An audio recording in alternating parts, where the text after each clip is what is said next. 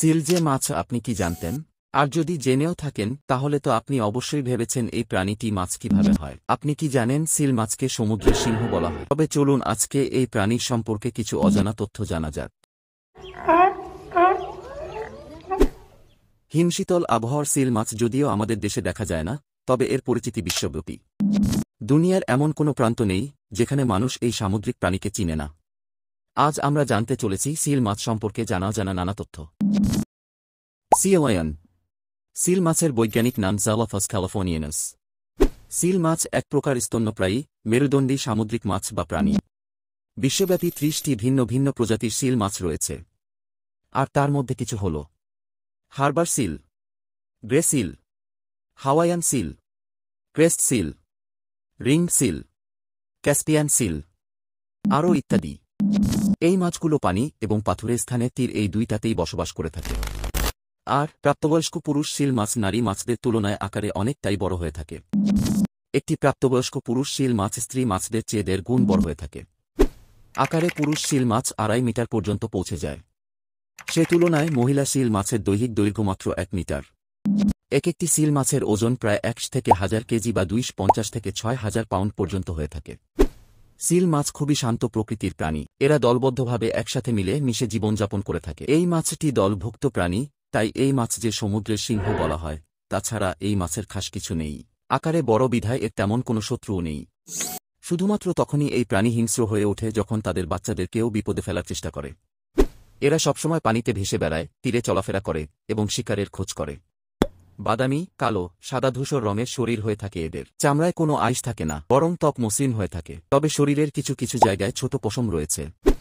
সিলের শরীর সরু, প্রসারিত প্রকৃতির। এদের একটি ছোট লেজও রয়েছে। সাধারণত মাছেদের লেজ দেখতে যেমন হয়ে থাকে এবং একটি দীর্ঘ পেশিযুক্ত ঘাট রয়েছে। সিল মাছ দলবদ্ধভাবে সমুদ্র উপকূলে বিচরণ করে। সিল মাছের মাথা বা খুলি কিছুটা ভালুকের খুলির মতো দেখতে। মুখের বৃত্তাকার আকৃতিটি কিছুটা দীর্ঘায়িত। সিল মাছের দুটি ছোট কান রয়েছে, যা মাথার সঙ্গেই অবস্থিত। এদের চোয়ালে তিন চারটি তীক্ষ্ণ দাঁত রয়েছে। সিল মাছও মানুষের মতো দুধের দাঁতযুক্ত হয়ে জন্মগ্রহণ করে এবং জন্মের কয়েক মাস পরেই মূল দাঁত তৈরি হয়। এদের দুটি ছোট ডানা আছে। এরা প্রতি ঘন্টায় প্রায় তিন শূন্য মাইল বেগে ছুটতে পারে।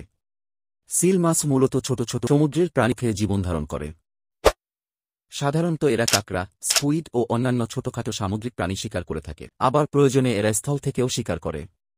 একটি সিল খুব সূক্ষ্মভাবে সমুদ্রের তীরে বালির মধ্যে লুকিয়ে থাকা মাছ বা যে কোন প্রাণীর শ্বাস অনুভব করতে পারে। এটি অবিশ্বাস্য হলেও সত্য, বালুর নিচে লুকিয়ে থাকা প্রাণীকে খুঁজে পেতে সিল মাছের কেবল কয়েক সেকেন্ডই যথেষ্ট। সিল মাছ বিশালাকৃতির এ কারণে এ জাতীয় প্রাণীর প্রচুর খাদ্য প্রয়োজন হয়, তাই সিল মাছ তার জীবনের বেশিরভাগ সময় খাবার অনুসন্ধানে ব্যয় করে থাকে। সিল মাছ সাধারণত ঠান্ডা আবহাওয়া এবং সমুদ্র পছন্দ করে, তাই বরফ শীতল সমুদ্রে এদের বেশি দেখা যায়। প্রশান্ত মহাসাগরে সিল মাছ এর বসবাস কেন্দ্র এবং দক্ষিণে আটলান্টিক মহাসাগরে, দক্ষিণ আমেরিকা মহাদেশের দক্ষিণ প্রান্তে, তার পাশাপাশি ভারত মহাসাগরের অস্ট্রেলিয়া দক্ষিণ পশ্চিম উপকূলেও সিল মাছের দেখা পাওয়া যায়। কিছু কিছু প্রজাতি আবার আর্টিক মহাসাগর, প্রশান্ত মহাসাগর এবং আটলান্টিক মহাসাগরের বাস করে। এছাড়াও পৃথিবীর মিঠা পানির তিন প্রজাতির শিল মাছ রয়েছে। এদের মধ্যে দুইটি প্রজাতি রাশিয়ার ভূখণ্ডে বাস করে।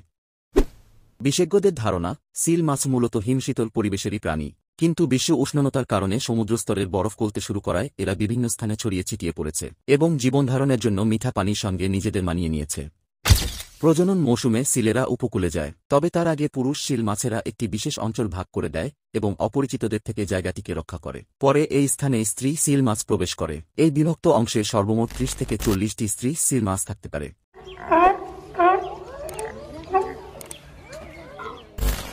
যৌন প্রজননের মাধ্যমে এরা বংশবৃদ্ধি করে থাকে। এক একটি সিল মাছের গর্ভধারণকাল অনেক লম্বা হয়ে থাকে, যা পুরো এক বছরও লেগে যায়।